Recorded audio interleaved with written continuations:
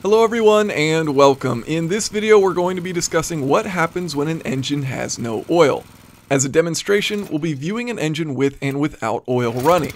This is the exact same engine on the left and the right, on the left with oil and on the right without. Both engines will start at the exact same time, but the video on the right was filmed 24 hours after the video on the left, allowing for the engine to completely cool. This is a 212cc air-cooled single-cylinder Harbor Freight engine.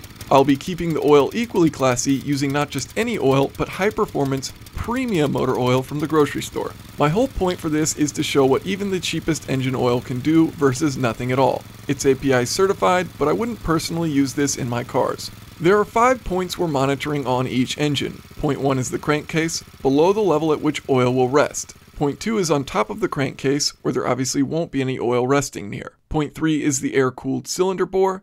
Point 4 is the exhaust pipe exiting the cylinder before entering the muffler. And point 5 is the valve cover. This is a pushrod style valve train with overhead valves. So at this point you're wondering, wait a minute, why is the engine with oil so much hotter than the engine without? Well, it's because I'm an idiot and left the choke closed on the engine without oil for over 2 minutes. Even still, after about 7 minutes, the engine without oil will catch up in exhaust temperature. One thing I did want to make sure of is that there was no reason other than the oil that the engine on the right would have higher temperatures than the engine on the left. As a result, its throttle is just slightly lower, the choke was closed for far longer, and it is in about 1 degree cooler ambient air. Any temperature that's higher on the right engine is purely a result of extra heat from not having lubrication. Now as you can see, the surface of the engine is highly reflective of thermal imaging. As a result, calibrating for the material is challenging. However, if you see the frame freeze, this is the camera calibrating, and immediately after a frozen image, the temperature values will be the most accurate. Ambient air temperature is about 15 to 16 degrees Celsius, though the engine was stored in my garage before filming, which kept its temperature slightly cooler. Let's go ahead and fast forward to 8 minutes, where now the engines are operating at similar conditions. To be honest, I was surprised how trouble-free it seemed the engine was up until this point. It sounds fine, and temperatures are no higher than the engine with oil. As proof that the engine has no oil in it, look at points 1 and 2. You can see a large temperature differential as the warm oil resting at the bottom is hotter than the crankcase. On the right, points 1 and 2 are the same, as there's only air on the other side of the crankcase for each point. I'll admit, Watching the temperatures side by side, I was a bit disappointed how much cooler the engine without oil managed to be.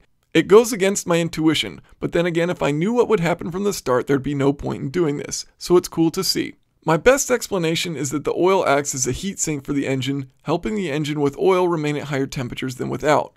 Without the oil, the amount of energy stored internally is less than the amount of energy emitted through the air, so it's cooler. That said, combustion temperatures are obviously a bit higher as the exhaust temperatures remains high on the right. After 15 minutes, the only temperature that's actually hotter for the no oil engine is the exhaust, and just slightly. So what's my recommendation here?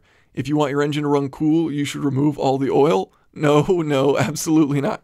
Unpleased with what I've seen so far, I decided to open up the crankcase and have a look inside. Here's where it became obvious permanent damage had occurred. First of all, look at the small amount of oil that didn't quite make it out while draining. It's quite dark, and this is after a 15 minute run with oil and 15 minutes without in a brand new engine. I kept the oil which I drained out after the first test, and you can see it here on the left. On the right, the oil which remained in the drained engine. Clearly quite dirty, and actually it has quite a bit of metal content in it, as you can see reflecting as I move around the towel. Significant wear of the engine occurred, whereas the oil on the left is perfectly clean and clear. Examining further, I remove the connecting rod cap from the crankshaft.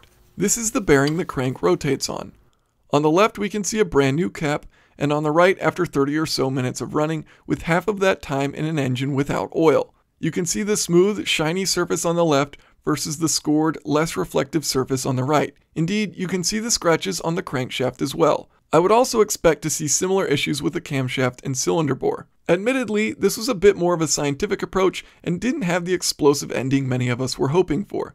But don't fret as the folks at Car Throttle have driven a Mercedes C180 without oil on a track until its inevitable death. I won't give it all away, but just know that the engine doesn't leave the track with all its original parts. If you have any questions or comments, feel free to leave them below. Thanks for watching.